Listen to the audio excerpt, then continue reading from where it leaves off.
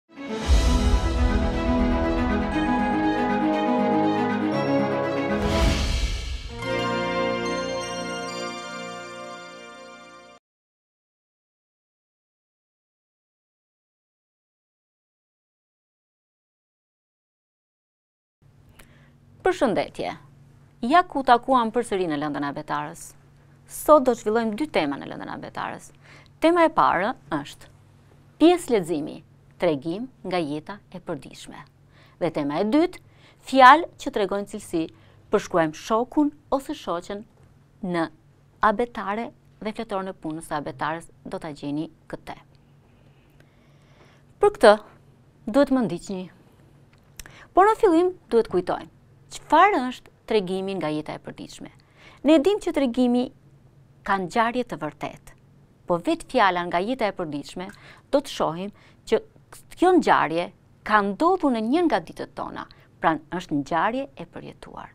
Dhe, Tregimin që kemi marrë nga jeta e përditshme, tregimin që kam përzgjedhur për ju nga jeta e përditshme, është një tregim që me të vërtetë më ka ndodhur edhe në klasën time, po nuk besoj që mund të mos ketë mësues që nuk i ka ndodhur një ngjarje e tillë, pasi kjo ngjarje përjetohet shumë në ditët tona.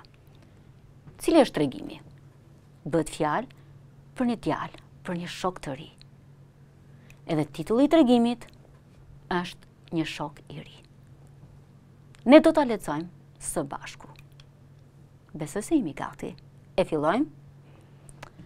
Sot në klasë sapo zumë vendet, mësuesja na tha se do të kishim një ngjarje të re. Ju duhet të mirëprisni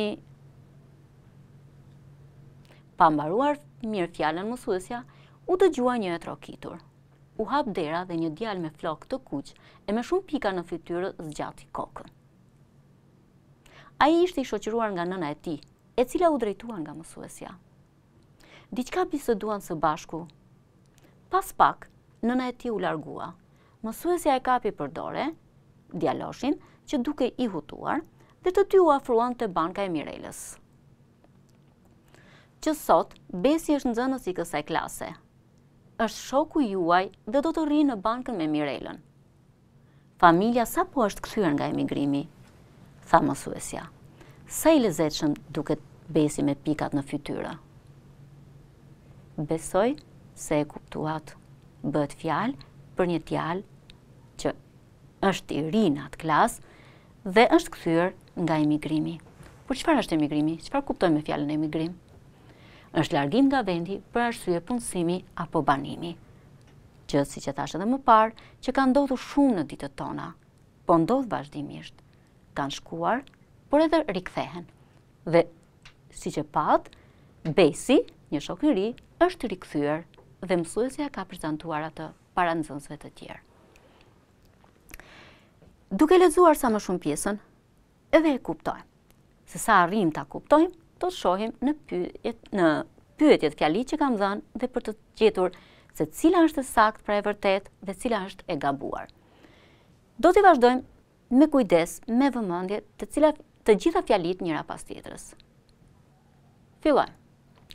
Mësuesja lajmëron për një ngjarje. Në qoftë se dëgjuat dhe e lexuat me vëmendje tregimin, besoj se e kuptoni që kjo fjali është e saktë, pra është e vërtetë. Pasi me të vërtetë, me të hyrë në klasë mësuesja lajmëroi nxënësit se do t'u tregonte, do t'u thoshte një ngjarje. Mësuesja fillon mësimin. Si mendoni? E filloi mësimin mësuesja apo filloi të tregonte për ngjarjen?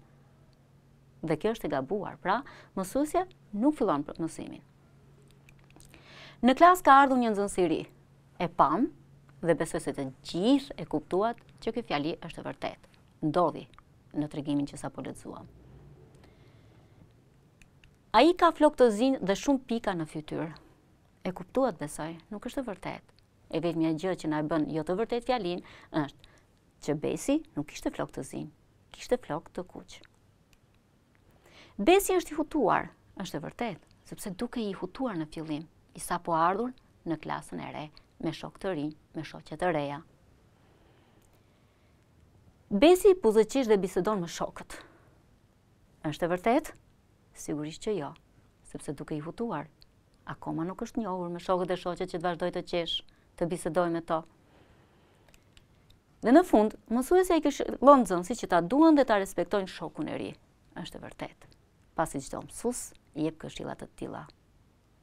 Pra, pamë ngjarjet që kishin ndodhur që ishin të vërteta dhe ngjarjet që nuk kishin ndodhur në këtë tregim që ishin jo të vërteta. dhe bëmë plotësimin e duhur për secilën fjali, tani kalojmë.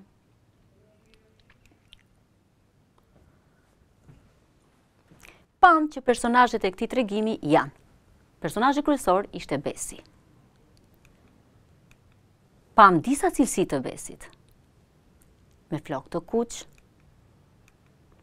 i lezetshëm, sepse thanë sa i lezetshëm dukej me pika në fytyrë, dukej i hutuar në fillim,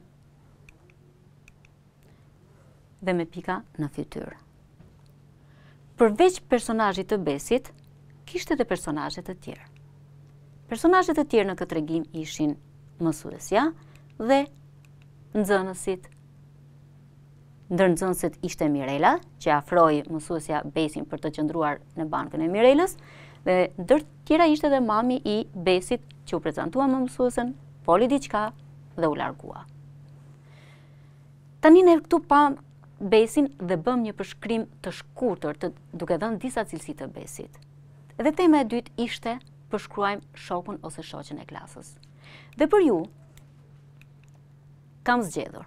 Si ishte Ola?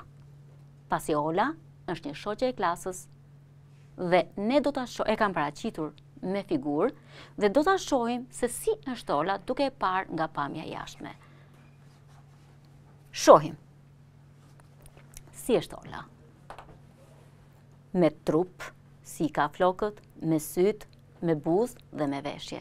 për secilin rast, duke parë figurën e Olës, një shoqe klase, do të bëjmë edhe plotësimet e cilësive përkatëse. Me trup, shohim që është me trup të gjatë, për moshën që ka, trupin e ka të gjatë. është me flokë gështenjë, është me sy kafe. Buzë të kuqe e vëreni besoj. Ka një veshje të bukur, unë e kam cilësuar të bukur veshjen e Olës. Pra, Ola ishte një vajzë të cilën unë e kam shkëputur nga klasa, e kam bërë paraqitur me foto këtu, dhe në bazë të pamjes së jashtme bëra edhe përshkrimin e Olës. Kam marrë edhe një shok klase. Kë kam marrë? Kam marrë Andin. e shohim me vëmendje, duke parë Andin me vëmendje, ne do të përshkruajmë edhe Andin. Si është Andi? Çfarë trupi ka? Flokët, sytë, faqet dhe veshjen. Pra, po bëjmë përshkrimin e Andit, duke u mbështetur te paraqitja te pamja e jashtme e tij. Siç e shohim, për moshën që ka, ka pak trup të shkurtër. Flokët, siç e shikojmë, ka flokë të verdha. Me sy, unë jam afruar e kam parë Andin, dhe sytë i ka të kaltër. Faqet e shikoni i ka të kuqe. Ndërkohë, shohim me kujdes, veshja e Andit është një veshje sportive. Edhe njëherë po ju them që ne bëmë përshkrimin e një shoku apo të një shoqe të klasës, që unë i kisha shkëputur nga klasa ime, dhe ju i keni edhe në fletoret tuaja të abetarës, por u bëmë duke u nisur vetëm nga pamja e jashtme, duke u rritur, duke vazhduar në klasa që vijojnë, do bëni përshkrimin e një shoku apo të një shoqeje të klasës duke u nisur edhe nga cilësi të tjera. Për këto do duroni, do pritni në klasën e dytë që ta vazhdoni.